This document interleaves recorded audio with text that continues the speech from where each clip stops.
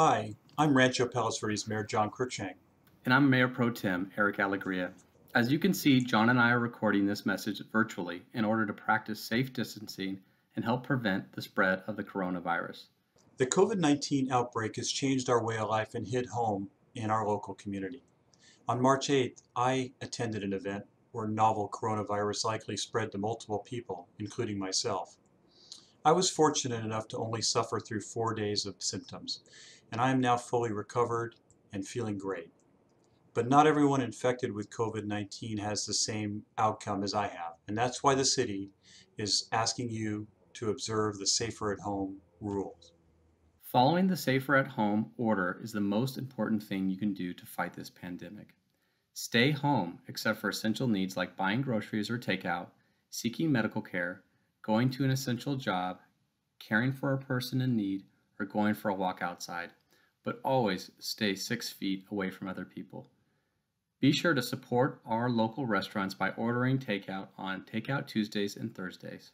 And remember, there's no need to overpurchase groceries and supplies.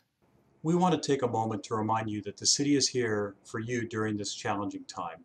We're constantly updating the city's website at rpvca.gov with the latest information, resources, and local updates to help our community navigate this COVID-19 pandemic. rpvca.gov lists the local restaurants offering takeout and delivery. It lists grocery stores with senior-only shopping hours and explains how seniors can get help with groceries and errands. The city website has information on the many ways you can get help or be of help in our community during this time. To keep our community safe and to prevent people from congregating and spreading the virus, all city parks, beaches, and open spaces, including the nature preserve, are closed to everyone. This is necessary to keep us safe and to help us flatten the curve. Your RPV City Council is also working on ways to get small businesses financial help and will consider some options at the April 7th City Council meeting. You can watch our live virtual meeting streamed on the city website or on RPV TV. As your mayor, I want you to know that we can get through this together. But we've all have to do our part.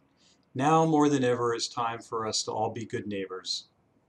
Let's give this all we've got. Thanks a lot.